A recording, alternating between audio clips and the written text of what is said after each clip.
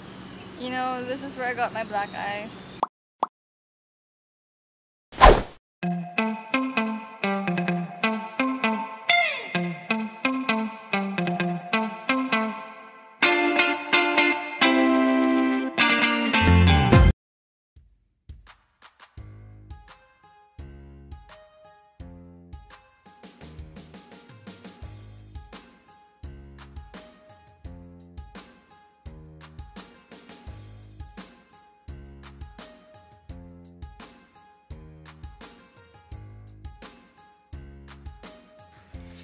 Guys, welcome back to my channel. It's Not Mika Reyes and for today's video I'm going to be talking about how I lost weight. I take note, I'm not a health expert or a nutritionist or anything of that sorts.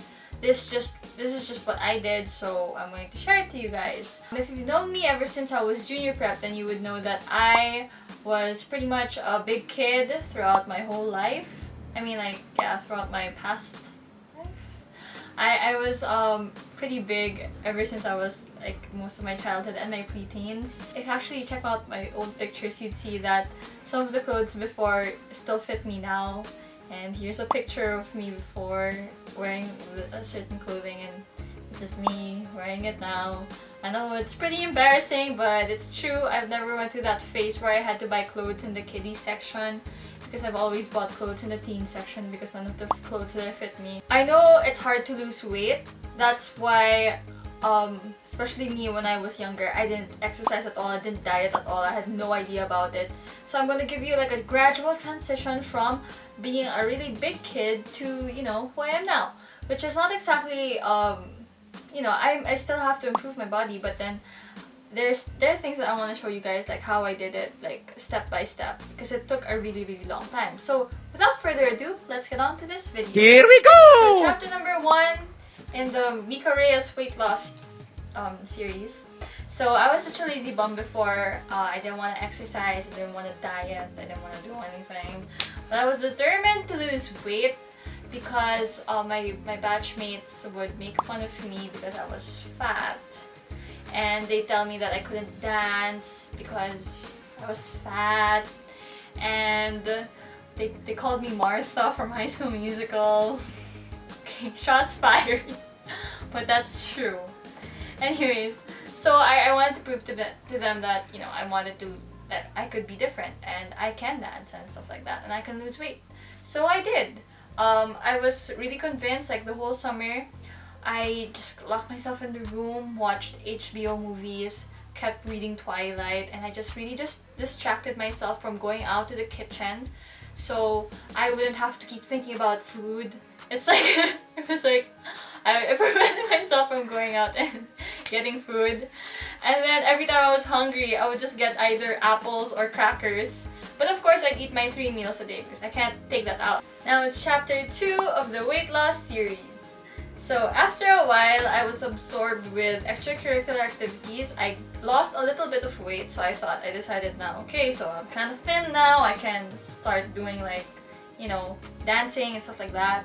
And the other girls allowed me to naman, so I was like, okay. After that, I didn't think of food as much as before, but I still thought about food. And my friend introduced me to, pes to a pollo pescatarian vegetarian lifestyle. All about um, vegetables, fruits, and white meat. Like, I excluded myself from eating red meat. And I also didn't want to eat rice, so I didn't eat rice. And that helped a lot. I lost a lot of weight because of that. It happened for more like, for around 3 months. But then, after a while, I had like a low blood, red blood cell count. So, I either had to take medication for that or I would have to start eating red meat. So after a while, I did start eating red meat again. But then this helped me in losing weight. So for the third chapter of Mika's weight loss series, I call it losing more weight. Like if ever this is just in, like in dire needs or very um, emergency problems or stuff like that.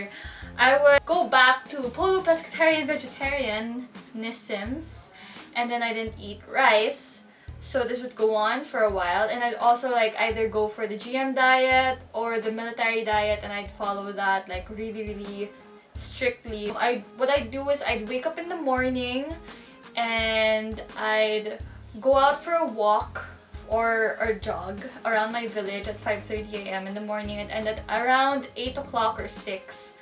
And then after that, during the afternoon, I'd have another workout which would involve either uh, like anything out of the out of the blue like anything I could do. Like I, I tried tried like swimming boxing like dance classes anti-gravity yoga so many different things. And then I think the most important thing is that you have to try like a different part of your body different muscle so you could really activate and lose weight so yeah, that's how I lost weight. Honestly don't think that you need to lose weight to feel confident or to feel beautiful or whatever. If you were like me and you really do want to lose weight because you want to stop the bullying or something like that, then you know, you could try it if you want, but then I seriously think that if you're confident in your own body and if you're able to express yourself and having the body that you have right now, then that would be like the best thing ever. Comment down below if you've done anything in terms of weight loss and if you want to share your weight loss story, then I could like, you know, talk to you about it, have a really big forum and talk about how we lost weight and be like, yeah. Um, I hope you enjoyed this video. Um, like this if you like it. Give it a thumbs up. And um, follow me on Instagram, Twitter, Facebook, and yeah, I thought be curious.